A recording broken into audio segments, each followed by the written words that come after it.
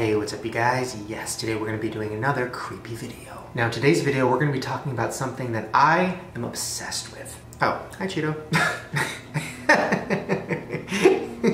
Are you scared?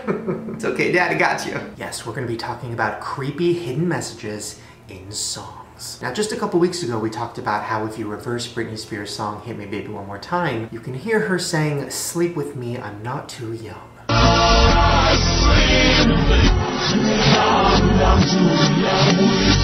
And there's so many other subliminal messages supposedly found in music and music videos. Now we've talked about it before that a lot of people think Taylor Swift has a lot of Illuminati symbols in her videos, or that she references the devil. And people even think that Justin Bieber has subliminal messages happening in his music videos, especially the one where he had the text behind him popping up in and out. But there is so much more than just. So today we're going to be talking about a few of the creepiest. Now this first one we're going to talk about isn't even subliminal. It's right there for you to hear for yourself. And that is the true meaning behind the song Hotel California. So in 1977, there was a band named The Eagles who were huge. And one of their biggest songs ever was Hotel California. Now I'm sure you've heard your aunt do karaoke to this song and you've heard this song your whole life, but have you actually listened to the lyrics? Because they are crazy. Now before I play you those lyrics, let me give you a little background information on what people think this song is actually about. People think the lyrics in this song are not about a hotel, but in fact they're about cults, witchcraft, sex slavery, demons, and human sacrifice. Now in the song it is said that if you reverse it, you can hear him talking about Satan. So here's a piece of the song playing normally. And now here is that same piece of the song, but backwards. I know, fucking creepy. And that's not even the scariest part of the song. There are lyrics that aren't reversed that are just as creepy as that. I mean, this next part of the song is very clearly about going to hell and seeing the devil. Listen. And in the master's chambers, they're gathered for the feast. They stab it with their stealing eyes, but they just can't kill the beast. And they even refer to Satan as the Nightman. Said the nightman. We are programmed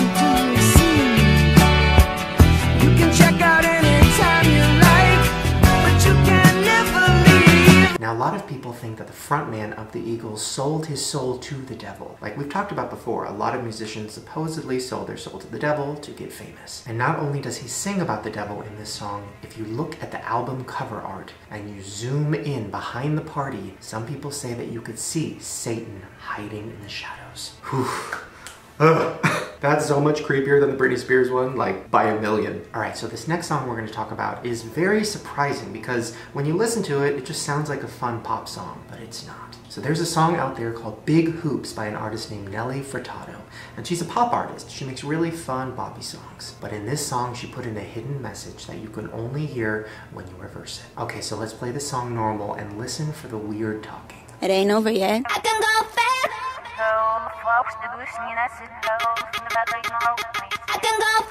Okay, now when you reverse that, this is what she says. Oh my god. Descending to the 13th floor, 14. Yeah, she's talking very specifically about the number 13 on the 13th floor. And as you guys know, we've talked about it before, 13 is a very important number to the Illuminati. So is she talking about being in the Illuminati or trying to get away from the Illuminati? I mean, if you look at the music video, she literally does the symbol.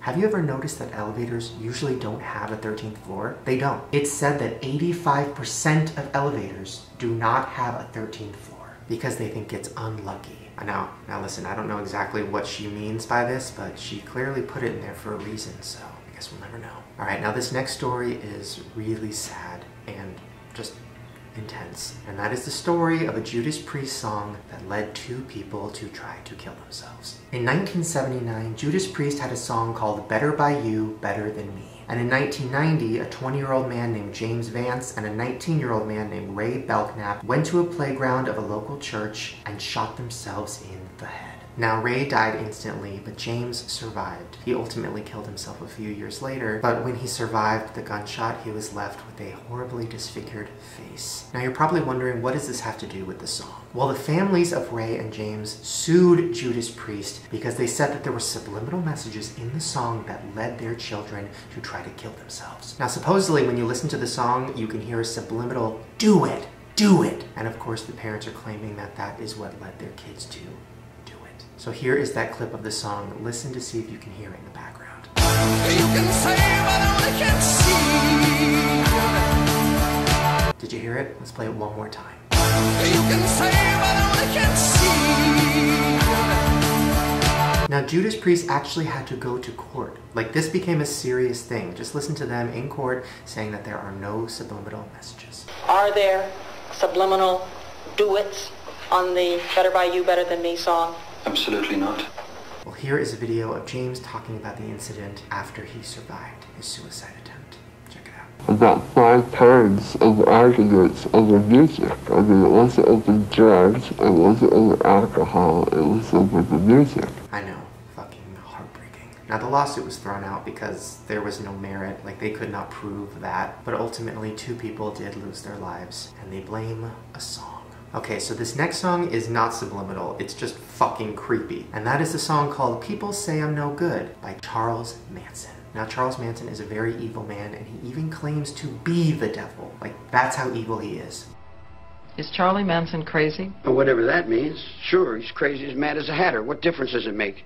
You know, a long time ago, being crazy meant something. Nowadays, everybody's crazy. Yeah, just check out how crazy he actually is. What do you think it is about you that makes people want to be a part of whatever it is you're a part of?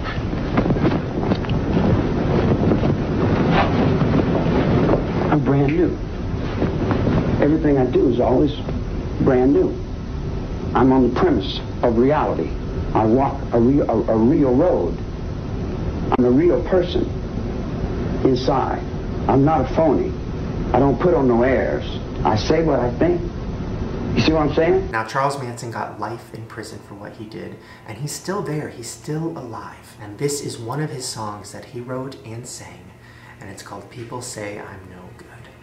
Check it out. Everybody says you're no good.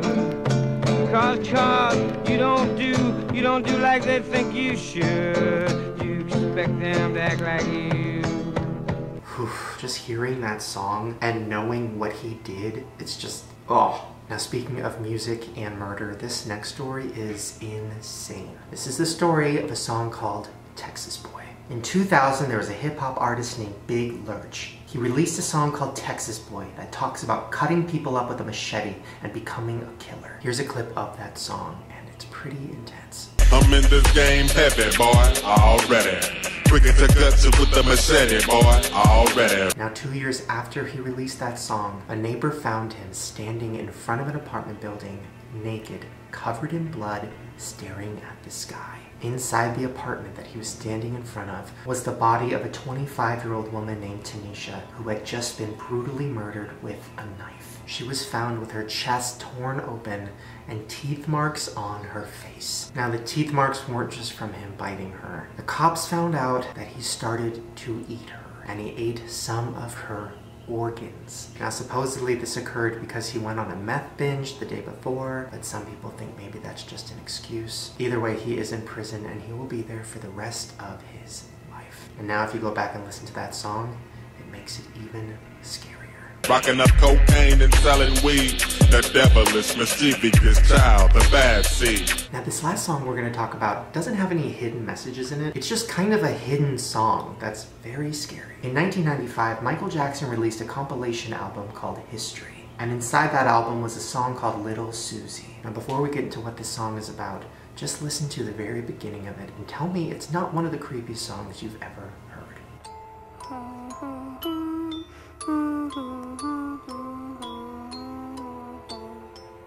Yeah, literally like from a horror movie. now, some of the lyrics are incredibly disturbing. I'm gonna read some of them because I don't want to get copyrighted, but it's a lot. Somebody killed little Susie, the girl with the tune, and she was there screaming, beating her voice in her doom. A fall down the stairs, her dress torn, oh, the blood in her hair. She lies there so tenderly, fashioned so slenderly.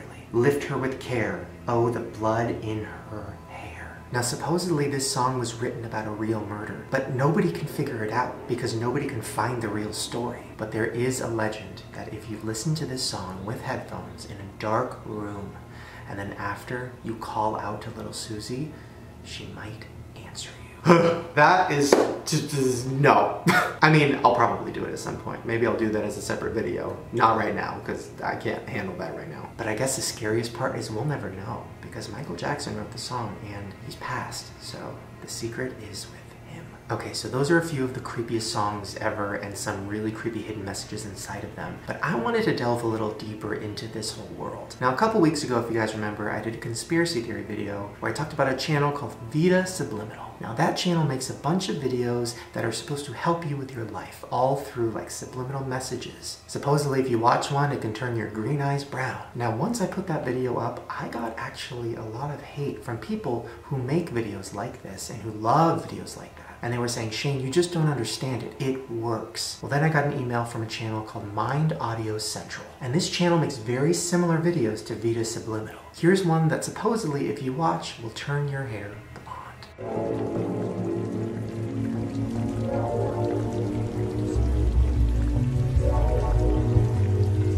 Now he reached out to me and said, Shane, I want to explain to you how this works because it does in fact work. And I was like, you know what? Let's do an interview because I really got to hear what he has to say. So without further ado, here is my interview with Mind Audio Central. Check it out. Okay, guys, I am here with Mind Audio Central. Now, can you please introduce uh, who you are and what you do? So basically, I made the term mind audio to cover a variety of like different topics and different audios that people have been uploading on YouTube. And I've sort of created my channel as a place where you know everybody can get that all like in one place. So there's things like subliminals, like binaurals, all that type of stuff. You know, they can they can get it all in one place. So you reached out to me after I did the conspiracy video because you were like, listen, like this is a real thing. It's not a conspiracy, but it's also not creepy. And you were trying to explain it to me, and I was like, fuck it, let's just do an interview because I'm very fascinated. So Yeah. you really do believe that if you watch a video that tells you that you're gonna get green eyes, that it could work?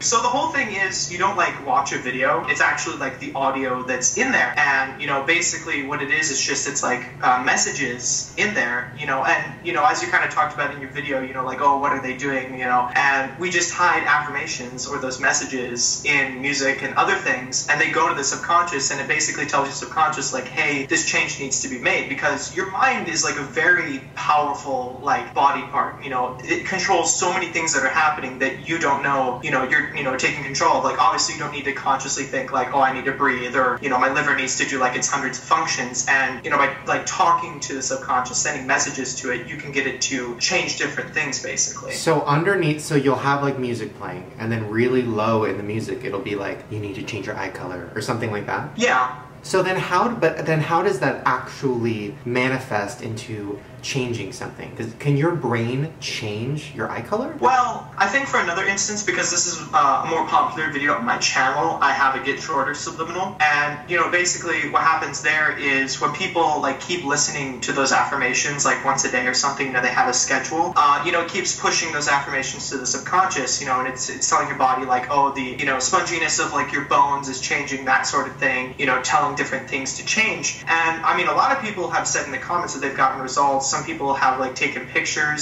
So, I mean, it's just, it seemed to be, like, a big success. And I think the whole thing is also just, it's the amount of time that it takes. Like, some people are impatient and they listen once and they're like, you know, is this a joke? Like, you know, is this real or whatever? But I think, I think the biggest thing is that it definitely takes patience. Like, it's not something that just happens, like, in two seconds. Well, so. I am not surprised because I mean I've heard for years that your brain you're only using what like three percent of it or ten percent of it or something really crazy low. And if you use the whole hundred percent, you could do some crazy shit like that movie Lucy where she's like moving shit around. So if you're tapping into that part of your brain, maybe you could change your body or things in your life. Like maybe maybe it's almost like magic, but real. I mean, the brain Yeah, the brain is amazing, um, but I will say that it's a, a, myth. I think a more accurate statement would be we're not using 100% of our brain like all the time because there's different lobes we only use in specific situations. But yeah, no, the subconscious is a very powerful thing. You know, it is kind of the, the background of like everybody, and uh, it can, you know, kind of stores different things. I guess you could say, you know, whether you have social anxiety or things like that. You know, it's like